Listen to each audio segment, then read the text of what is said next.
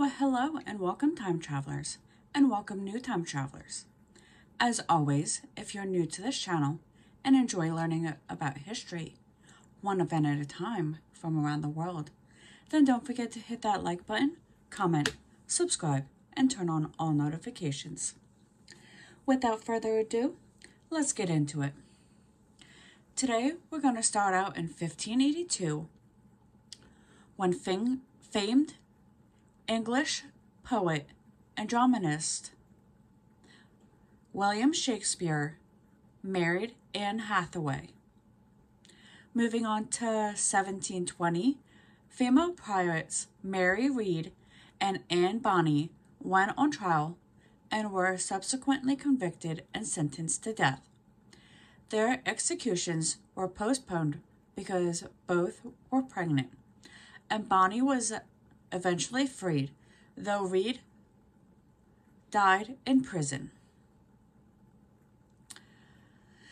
37 years later, in 1957, or I'm sorry, 1757, English engager, en- engraver, artist, poet, and visionary William Blake, whose notable works include the poetry collection Songs of Innocence and the Songs of Experience, was born.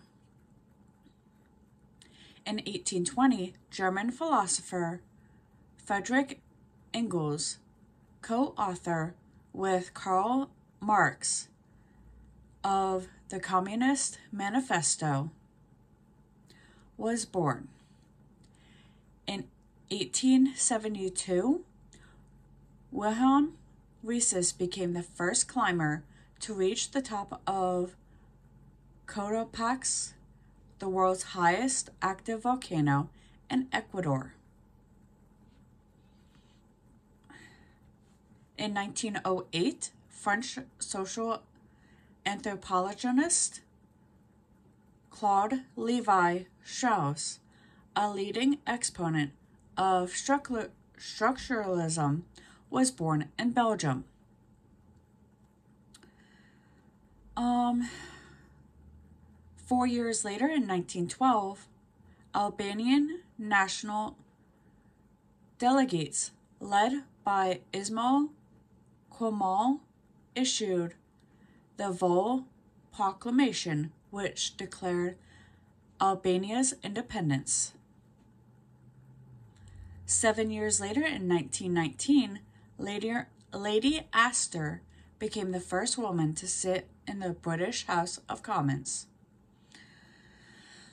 Um, the Tehran Conference, attended by U.S. President Franklin D. Roosevelt, British Prime Minister Winston Churchill, and Soviet Premier Joseph Stalin, which Stalin pressed for an invasion of, Fr- of France, opened on this day in 1943.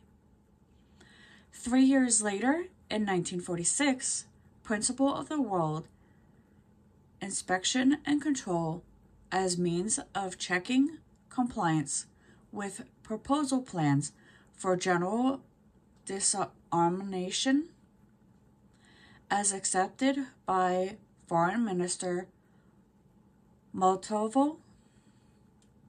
I think that's how it's pronounced. Um, in 1951, informal ceasefire was reported by newspaper reporters to be an effect, in effect along most of the Korean front. Um, nine years later, in 1960, Mauritania declared its independence and left the French community. The following year, in 1961, Gwirdon football player Ernie Davis of Syracuse University became the first African American to win the prestige Heisman Trophy. The following year, in 1962, American comedian and actor Jon Stewart, who hosted from 1999 to 2015, the uh, strategic television news program, The Daily Show, was born. In 1989, Queen Latifah released her debut album, All Hail the Queen, and its success helped redefine the traditional male genre of rap. And our final event happened in 2012 when Peter Jackson's The Hobbit An Unexpected Journey, the first in the series of movies based on J.R.R. Tolkien's book, had its world premiere in New Zealand. And as always, if you enjoy learning historical events from around the world, then don't forget to hit that like button, comment, subscribe, and turn on all notifications. I'll see you all on the next one.